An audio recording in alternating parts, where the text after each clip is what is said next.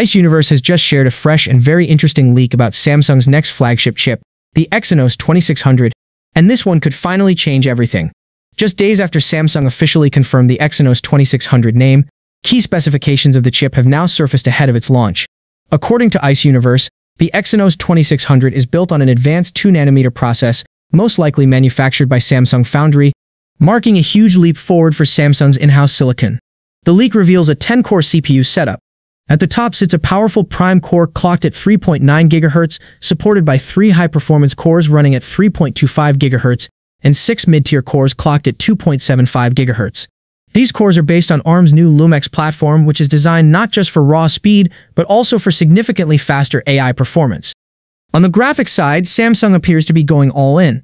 The Exynos 2600 reportedly packs an AMD-powered Xclipse 960 GPU codenamed Juno, built on the RDNA architecture and clocked at 985 MHz. It supports modern graphics APIs including OpenGL ES 3.2, OpenCL 3.0, and Vulkan 1.3, making it ready for next-gen mobile gaming and heavy GPU workloads. Earlier reports even suggested that this GPU could outperform Qualcomm's latest Adreno 840, though real-world results may still vary. Shared by Anthony, the new Geekbench results show the Exynos 2600 hitting a massive 3455 in single-core and 11621 in multi-core performance, instantly putting it into true flagship territory. But the real surprise is that this chip is doing all of this while reportedly running 30% cooler than the Exynos 2500, which is a huge breakthrough for Samsung's long-criticized thermal efficiency. Samsung might have just unlocked the most stunning Galaxy S26 Ultra moment yet, and it comes in colors that are already breaking the internet. Today, we finally have our clearest look at Samsung's 2026 flagship in not one, but four premium finishes. And yes, the new purple shade is absolutely stealing the show. This entire leak comes from Anthony, one of the most reliable voices when it comes to early color palettes.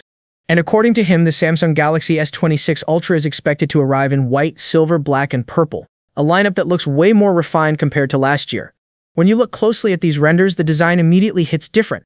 The white and silver options bring that clean, ultra-minimal vibe Samsung is known for, while black gives the phone that stealth flagship feel. And then comes the purple, the one everyone is talking about. Anthony shared an individual preview earlier showcasing a deep matte violet tone with a very premium finish and honestly, it fits the S26 Ultra design perfectly. The camera rings pop out beautifully, the back looks more uniform and modern, and the entire device simply feels like a luxury model built to stand out.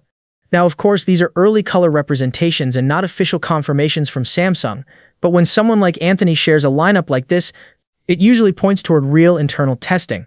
Samsung is clearly going for a more curated and iconic palette for 2026, fewer colors but stronger visual identity. And if purple ends up being the hero color of the S26 Ultra, this might be the most photogenic Samsung flagship we've seen in years. Samsung has accidentally given us an early look at the entire Galaxy S26 lineup, thanks to a surprising reveal inside its own One UI 8.5 software. The internal build includes images that clearly show the Galaxy S26, Galaxy S26 Plus, and the Galaxy S26 Ultra. Inside the update, three codenames appear, M1, M2, and M3. According to reports, M1 and M2 represent the Galaxy S26 and S26 Plus, while M3 corresponds to the Galaxy S26 Ultra. This aligns perfectly with what reliable leakers have been reporting for months, the Galaxy S26 and S26 Plus feature a triple camera setup, arranged vertically inside a compact camera island. The overall design is simple, modern, and very much in line with Samsung's recent aesthetic. It also closely matches the early renders shared by well-known leaker OnLeaks. Meanwhile, the Galaxy S26 Ultra stands out with a larger, more defined camera island. It includes three primary cameras stacked vertically, accompanied by two additional sensors on the side. This layout fully supports earlier leaks and makes it clear that Samsung is sticking to the iconic Ultra design language.